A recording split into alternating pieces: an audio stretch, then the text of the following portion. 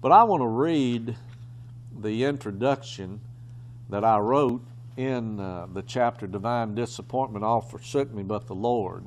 Now, this is how divine disappointment is, divine, is uh, defined a situation God allows for the purpose of getting our affections and focus off anyone or anything that has become preeminent above Christ in our lives. So here's the intro. Has someone you put on a pedestal, whom you may have looked up to as a spiritual hero, ever come crumbling down off that pedestal in your eyes? Has someone whom you considered to be a friend ever stabbed you in your back by a critical comment they made about you that eventually got back to you through the rumor mill? Have you ever trusted someone to do something and they failed to do it? Those questions are examples of the ways by which we experience the divine discipline of divine disappointment. Disappointment comes when your expectations have not been fulfilled.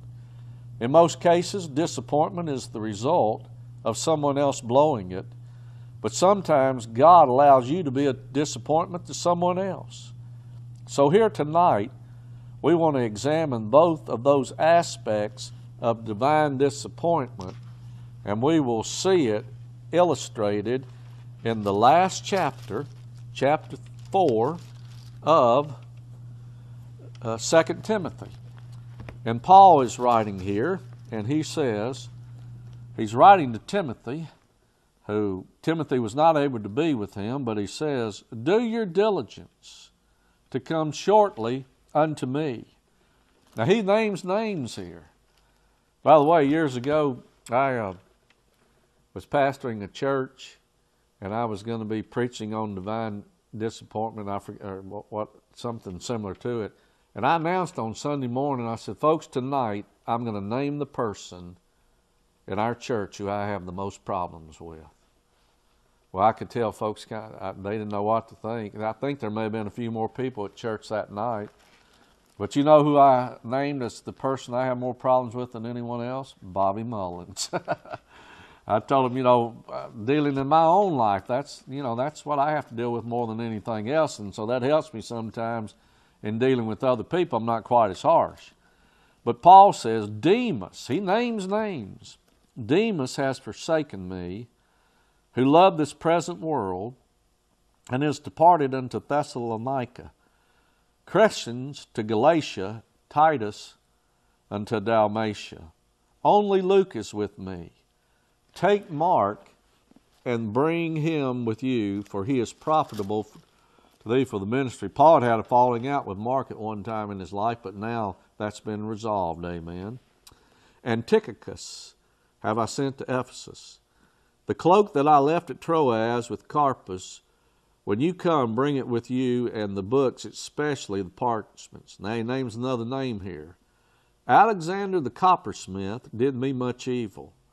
The Lord reward him according to his works, of whom be thou aware, because he hath greatly withstood our words. At my first answer no man. At my first answer no man stood with me, but all men forsook me. I pray God that it may not be laid to their charge. Notwithstanding, the Lord stood with me and strengthened me that by me the preaching might be fully known and that all Gentiles might hear. And I was delivered out of the mouth of the lion. Really, Demas and uh, Alexander the coppersmith are the ones who had really done the most harm with Paul. I don't know if Alexander the coppersmith was truly saved or not. They were men whom Paul had had a good relationship. But even some of the others he would like to have been with him weren't. There were some Paul had sent away, but he was at a point in his life. You ever had a pity party? You ever feel like uh, nobody loves you, when that's, of course, not the case, but you just have those times in your life, you're down. Paul may have felt, you, you know, nobody there, he's in prison. He feels neglected. He needed his coat because it's about to be winter if it wasn't already winter and asked for it. You know, physically, when you're down, you feel like the whole world is down. You wonder sometimes about your own friends. But he said here, All forsook me but the Lord. And that's what I've titled this chapter in the book and this message tonight. Anybody disappointed you in recent weeks? Well, first of all, we'll deal with the fact of people disappointing us. I um, now with Facebook, with instant media, within this past year, some people who have been even close to my own family at one time uh, have done things that have been disappointing to us, been disappointing to a lot of people. The one thing that I never want, you know, the Golden Rule says, likewise, whatsoever you would that others should do to you, do to them. I, I, I don't want to be vindictive about anybody.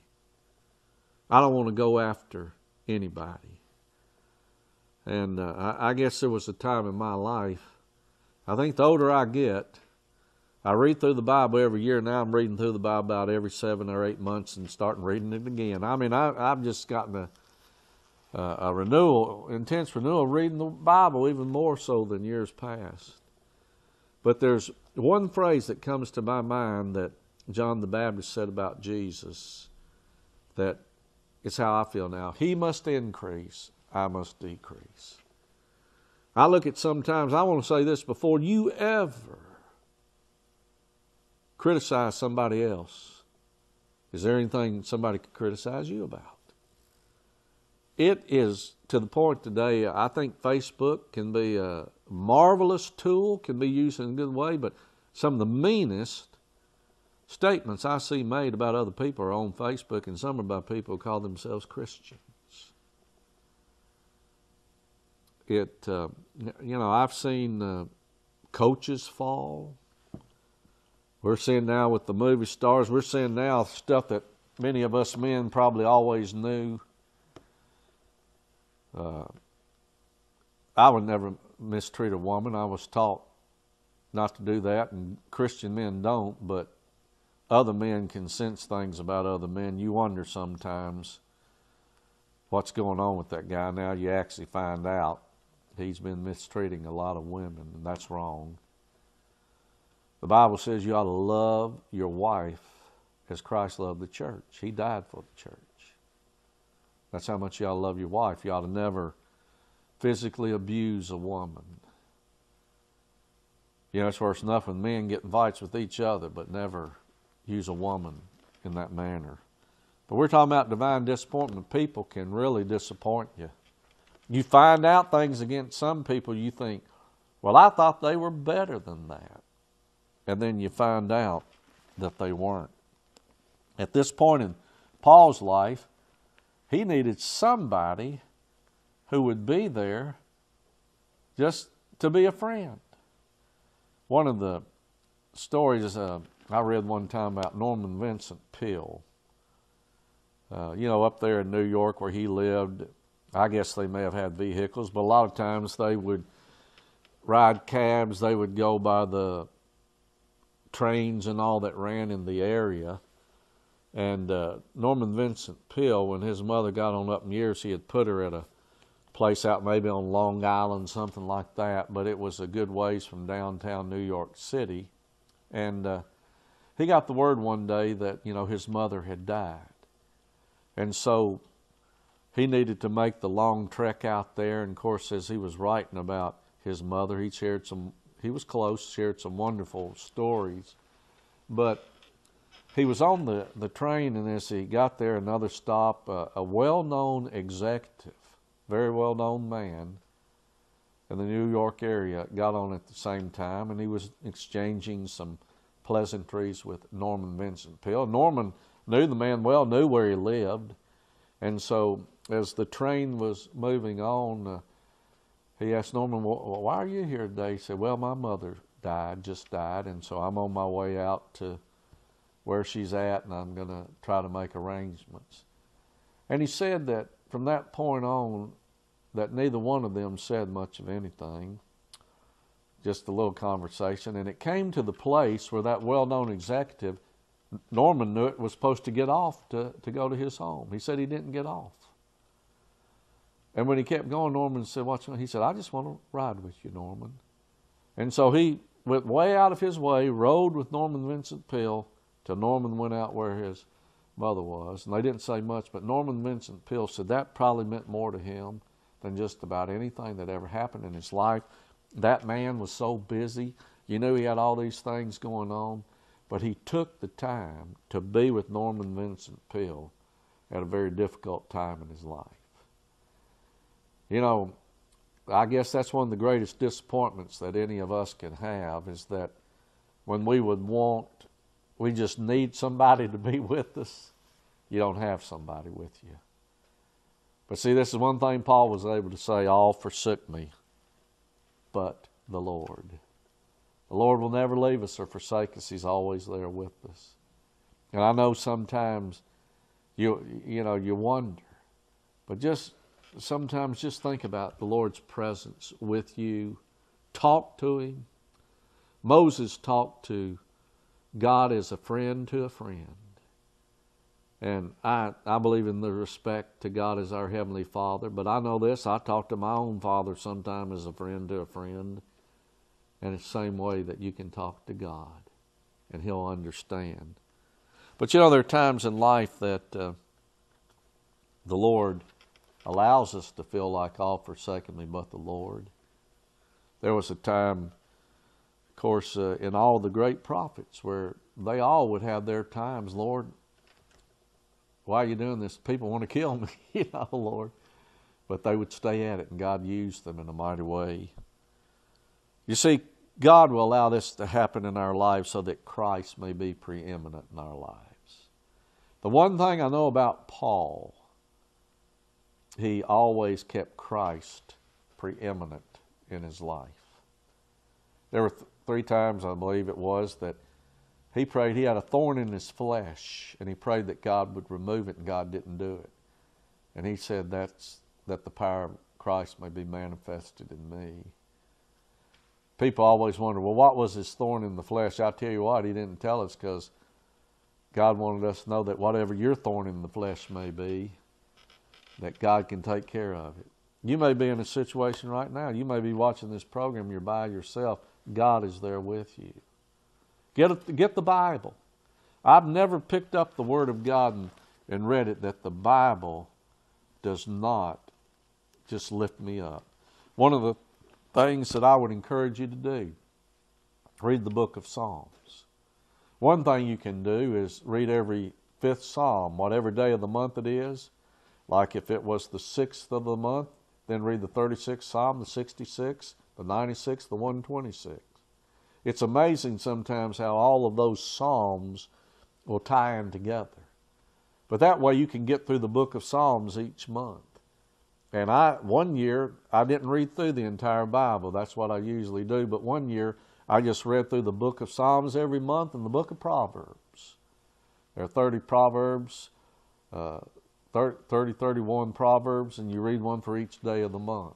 And then read five Psalms a day. That was an interesting year. I, I tell you, folks, every time I read the Psalms, if I'm upset or down and I begin reading in the Psalms, it, it lifts me, lifts me up. And so you, you feel forsaken by God right now, getting, getting to the Bible and read it. That Christ may be preeminent in your life.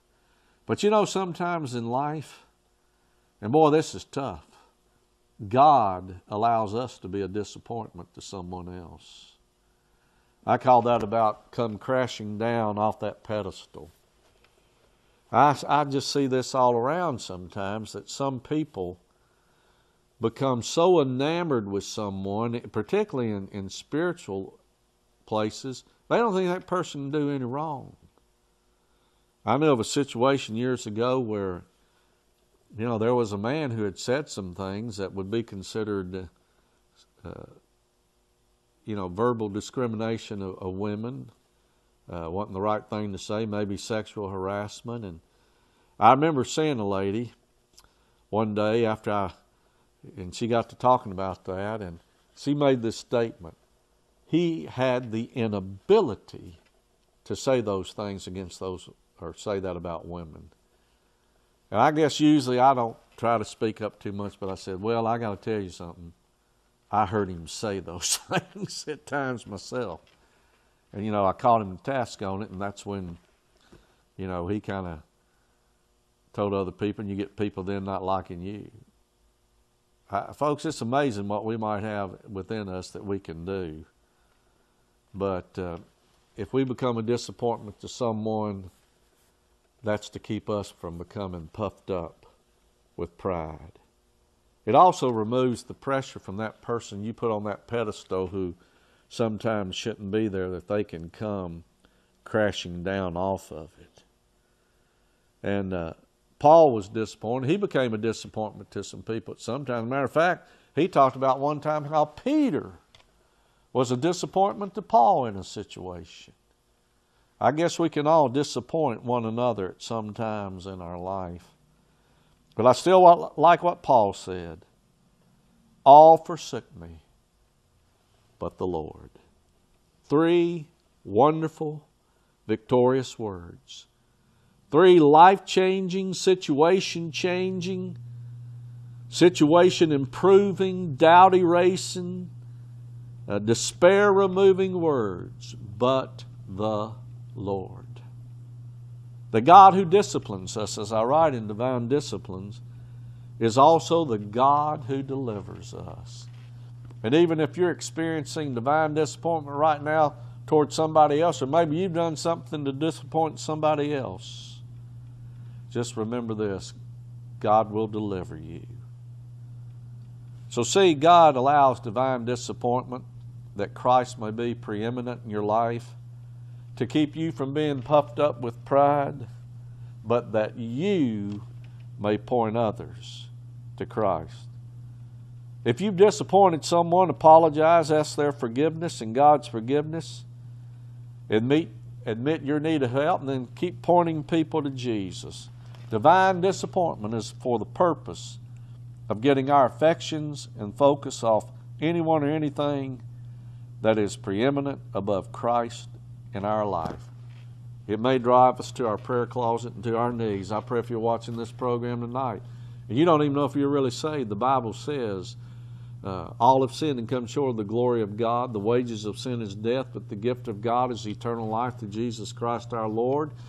And God showed his love toward us, and that while we were yet sinners, Christ died for us. If you confess with your mouth the Lord Jesus, you will be saved and believe in your heart that God has raised him from the dead, you're saved. Just say a simple prayer like this Dear God, I admit that I'm a sinner. I ask you to forgive me of my sins. I want to turn from my sins. I believe that Jesus died to save me from my sins. And I want to trust in Him as my Lord and Savior. And I want to live for Him from this point on in my life.